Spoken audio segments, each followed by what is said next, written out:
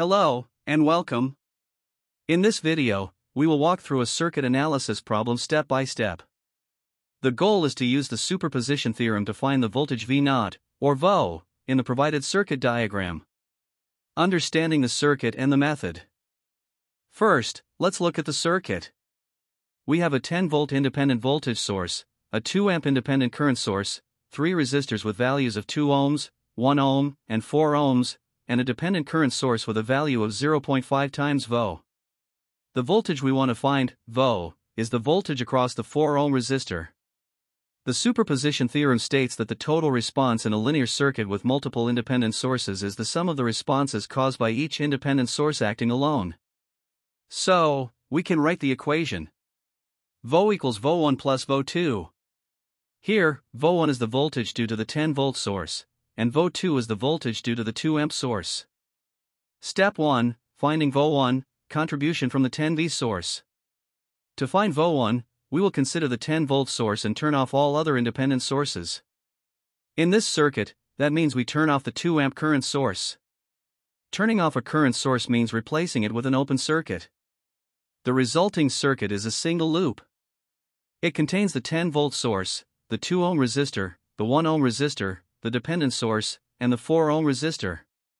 The voltage across the 4 ohm resistor in this new circuit is VO1. The dependent source's value is now 0.5 times VO1.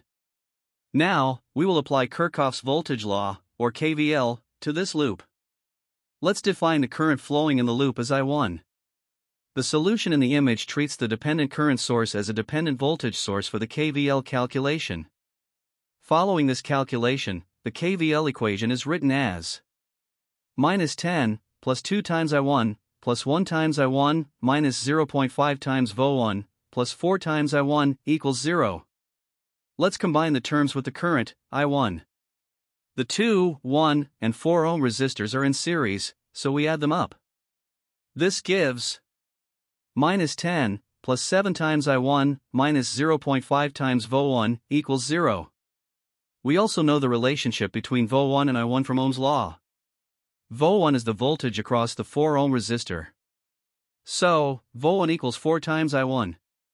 Now, we substitute this expression four VO1 back into our KVL equation. Minus 10 plus 7 times I1 minus 0.5 times the quantity, for times I1 equals 0. Let's simplify this.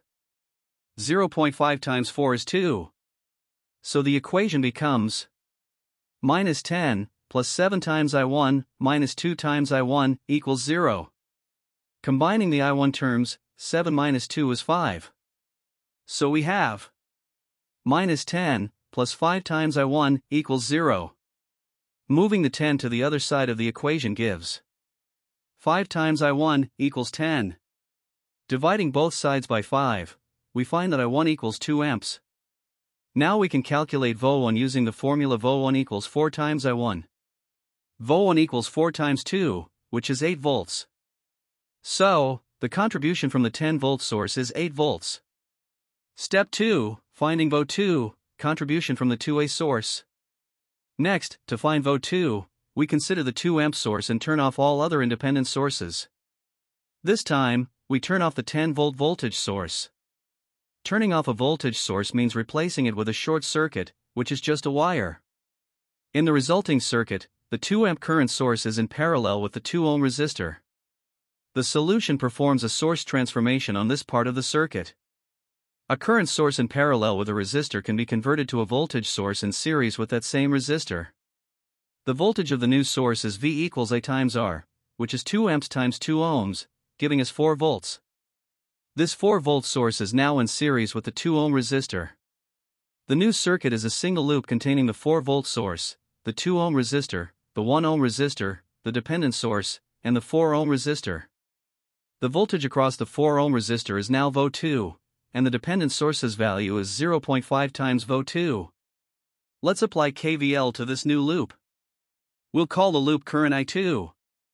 Again, the solution treats the dependent source as a voltage source.